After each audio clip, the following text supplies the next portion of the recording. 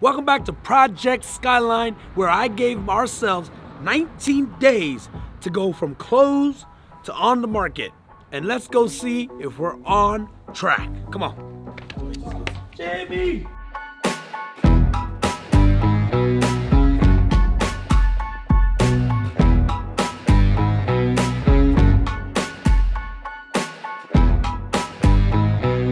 Okay guys, officially seven days. So what do we do? Got all the junk out. That was an easy one day job. We got the carpet removed. That was another day. They also scraped all the popcorn off the ceiling, which makes this place look a lot nicer. And of course, we got the hardwood floor all refinished in a special walnut. It's a beautiful color, it's neutral. That's about it. This week, we have couple of things happening.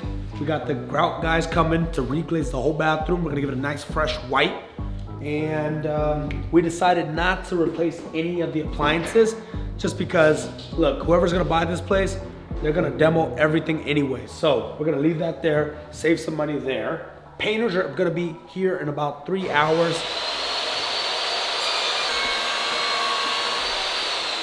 Okay, check it out guys. The painters are gonna be here in about an hour or so. They're gonna pressure wash everything because look, check this out. This is what it looks like clean. It's a nice gray. And over here, obviously because of the moisture and the air and the ocean being so close, this is what it looks like now. So we're not gonna paint the whole thing, just pressure wash, and then anything that is white, we'll have it touched up a brand new white. So obviously something like this will look brand spanking new. Let's go to the yard. So in the yard, guys, we didn't do a whole lot. But if you remember, junk was everywhere. And there was a bunch of plants that were just kind of manny and all grown out. So we just cleaned it. The next step will be pressure wash the whole thing and it's gonna look amazing. Nothing really to note here, guys. We didn't want to change any of the flooring, just laminate's fine. So it doesn't match the upstairs, but again, whoever wants this place, they're probably gonna put something new down or they're gonna put carpet, which is much more comfortable.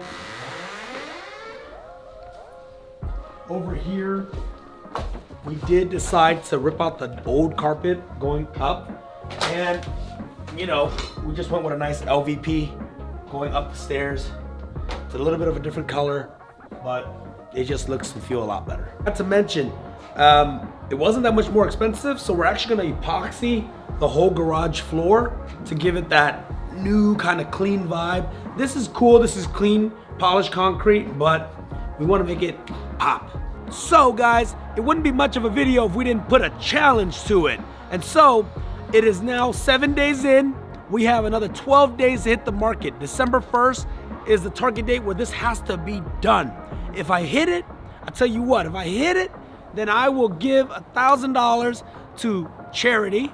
If I don't hit it, I'll give 2000 Let's get it. Like and follow.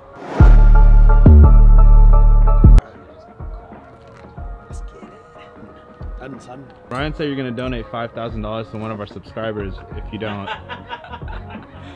sure, I'll pull it from our fund. Hell yeah, I wanted the subscribers. I wanted the subscriber guys. Hey.